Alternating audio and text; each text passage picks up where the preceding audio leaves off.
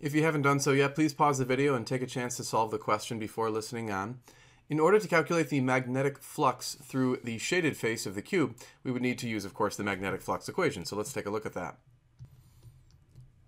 So here we have the magnetic flux symbol, and we see that it is equal to the magnetic field times the cross-sectional area of the loop, and then multiplied by the cosine of theta.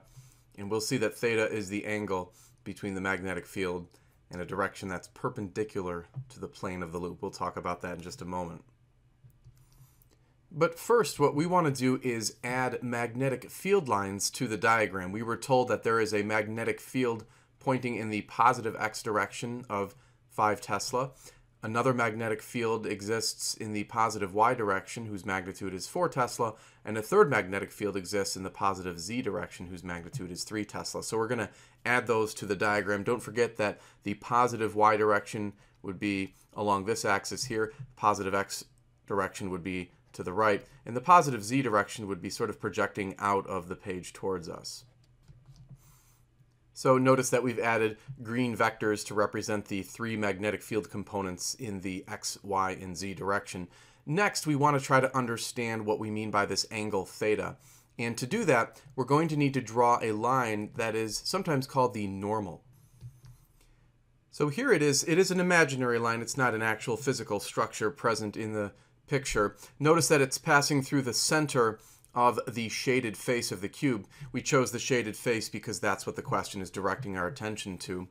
And also notice that it is perpendicular to that shaded surface of the cube. We can even draw in a little right angle perhaps, although that might not be too clarifying.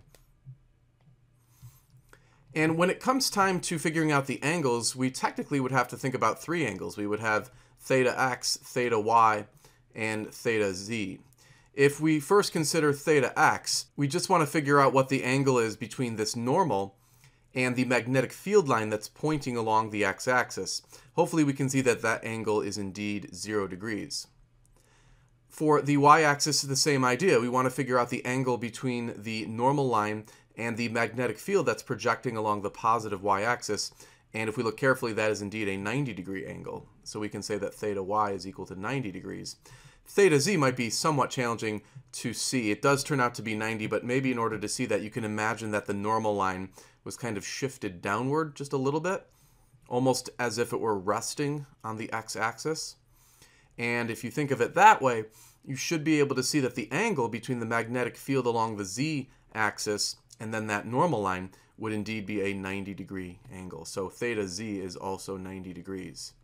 Now we recall that the cosine of 90 degrees is zero. That's a fact probably learned in a trigonometry course. The cosine of 90 is equal to zero degrees. Well, that means that the magnetic field in the y direction will not contribute any flux, nor will the magnetic field in the z direction will contribute any magnetic flux. So the only magnetic flux that's going to occur is from the magnetic field that's projecting along the x-axis. So we really only have to consider the magnetic field along the x-axis. The other two, again, will produce fluxes of zero because of that 90 degree angle. And one more point before we plug into the formula. Since we're calculating the flux through the shaded face of the cube, we would need to know the area of that shaded face of the cube. Now, of course, that shaded face is just a square, and the area of a square is just the side length times the side length again. So really, the area is just going to become L squared. And so with that idea in mind, we can plug into the formula. Notice that we converted the L into meters. The question gave L in centimeters, and so of course to convert that into meters, we just take the decimal point and move it over once and then a second time and add a zero there. So we would have 0.025 meters, and that's what we've plugged in for L. And plugging this into the calculator, we can see that the magnetic flux through the shaded face of the cube will be 3.1 times 10 to the minus 3, and the unit of flux is Webers. So that is indeed the correct answer to part A. Now for part B, it really turns out to be more of a conceptual point or a conceptual understanding rather than a calculation. But briefly, the idea is the following. We'll notice with this cube that any magnetic field line that enters the cube, let's say from the bottom here, will also exit from the surface on the opposite side. Same thing if a magnetic field line was coming into the cube from this direction, the same magnetic field would be coming out in that direction.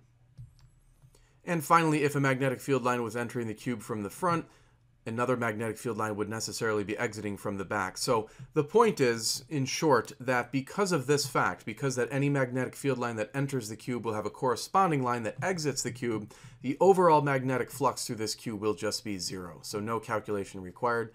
We can simply state that as a matter of fact.